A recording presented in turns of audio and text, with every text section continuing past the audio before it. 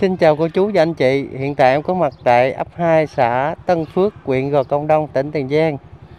Thì ngay chỗ ngã tư nha. Đó, thì à, mình sẽ đi vào à, con đường nông thôn này nè. Chia sẻ đến cho anh chị mình. Khu vực đây à, ngay ngã tư. Mình chạy vào đường à, nông thôn. Nông thôn vùng quê của à, xã Tân Phước Ờ, một ờ, cái xã ờ, vùng ven, giáp ranh với huyện Cần Giờ, coi như là qua sông cái là tới Cần Giờ đó. Coi như là cái vùng này giáp ranh với thành phố Hồ Chí Minh. Anh chị chạy cái hướng này nè, chút xíu nữa là ra tới mé sông. Mé sông đó có cái phà thì à, anh chị sẽ che đi qua bên thành phố à, Cần Giờ. Vùng này thì à, giáp với mé biển rồi.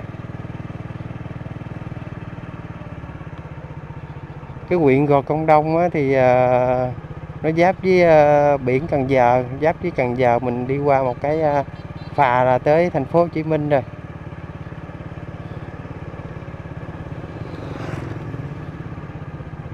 Bữa nay à, đi quay là ngay à, buổi trưa cỡ à, 12 giờ 12 giờ mấy á.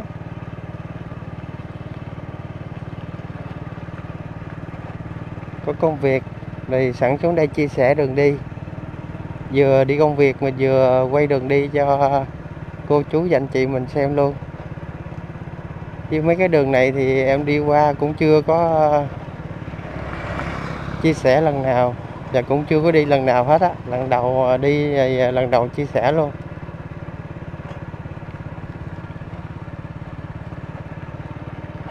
Đây có những căn nhà cổ nhà này chắc ờ, mấy chục năm, cả trăm năm.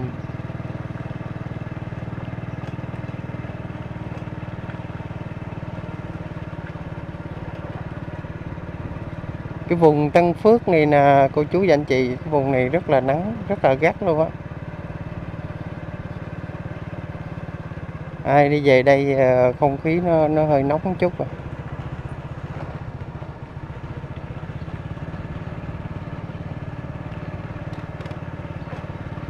tại hai bên đường người ta không không có trồng cây. Chứ phần cái vùng này người ta cũng ít có trồng cây như cái vùng gò con tây chợ gạo rồi cây bè cây lậy đâu đó. Cái vùng nào ít có trồng cây á, thì uh, thì nó lại nóng hơn cái vùng ờ, người ta trồng cây nha. Trồng cây không khí nó ôn hòa nó mát lắm. Như cái vùng này ờ, ít có ai thấy trồng cây mà lớn lớn lắm. đa số chủ yếu là nhà thì nhiều. Ở đây người dân chủ yếu là người ta trồng trọt chăn nuôi nè rồi người ta làm công ty nữa. Ở đây cũng gần khu công nghiệp. Khu công nghiệp Gia Thuận. Thì uh, nhiều lắm.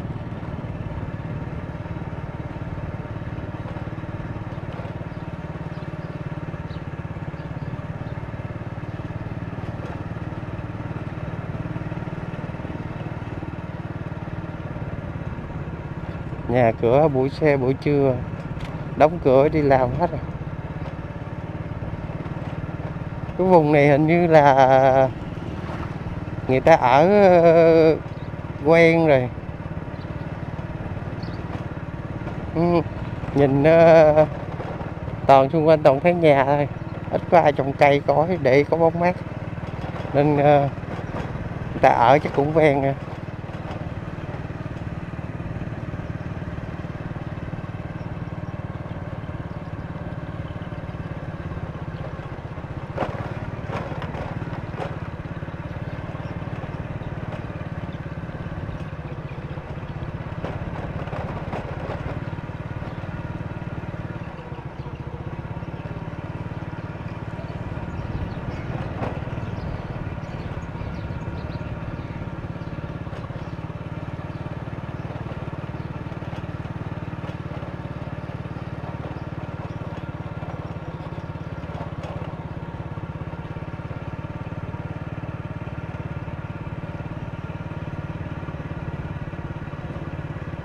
dân cư ở dưới đây ở là người ta ở đông lắm á.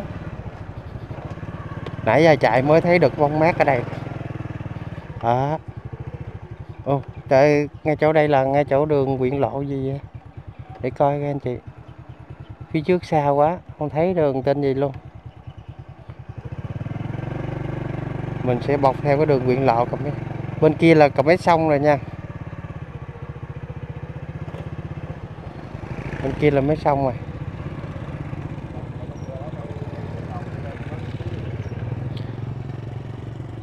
Nãy giờ mình chạy là quyện lộ 02 còn đường này là đường quyện lộ gì cũng không biết luôn á.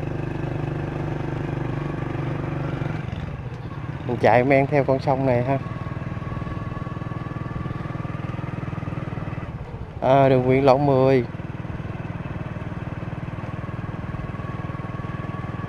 trời ơi buổi trưa. Nắng chết luôn và chị vẫn phải đi phải cầm cái nón bảo hiểm phải đi kìa. Không biết có giận chồng giận con gì không đây nữa. Giận chồng giận con bỏ cầm nón bảo hiểm đi.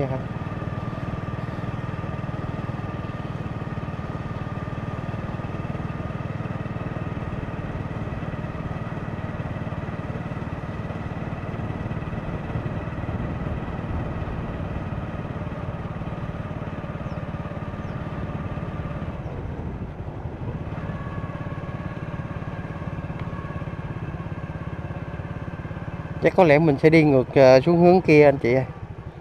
Mình sẽ đi ngược xuống hướng kia ờ, mình quay cái hướng dưới kia đi. Đó mình uh, sẽ đi uh, thẳng hết, hết cái hướng này coi đi tới đâu ha?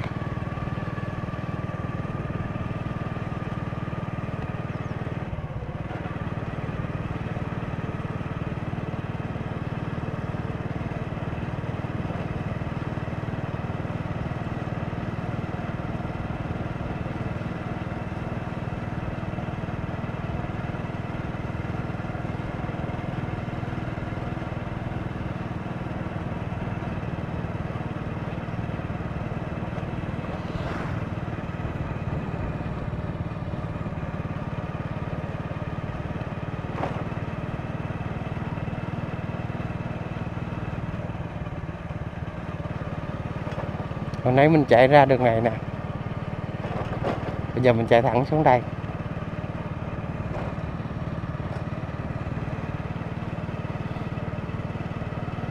Đường lộ 10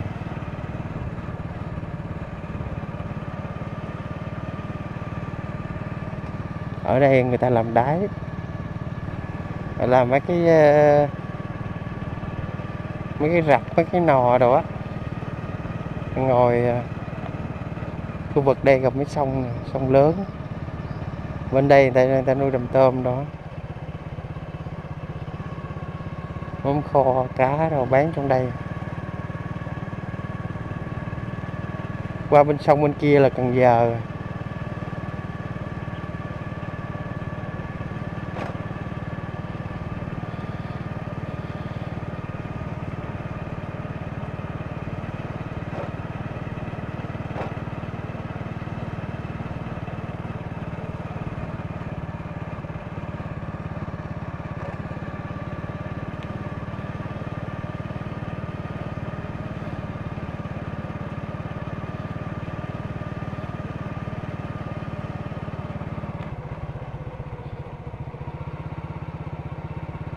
Nhà, người dân ở trong trọng ở đây là vùng sâu, vùng xa rồi.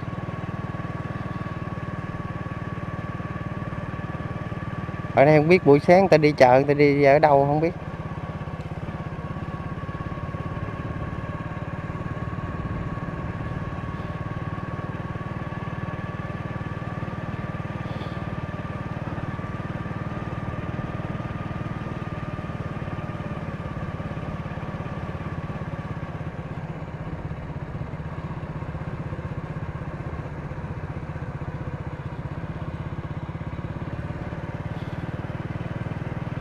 Đường này dắt tối, dắt đường một mình chắc không dám chạy đường này. Cái đường này gì nó vắng dữ.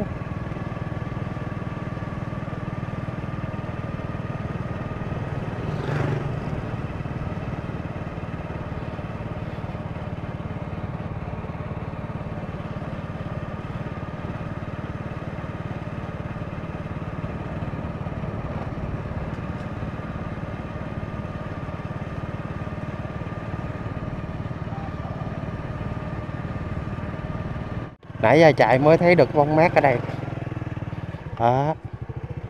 ô trời, ngay chỗ đây là ngay chỗ đường quyện lộ gì vậy? Để coi các anh chị. Phía trước xa quá không thấy đường tên gì luôn. Mình sẽ bọc theo cái đường quyện lộ cầm bên kia là cầm mấy sông rồi nha.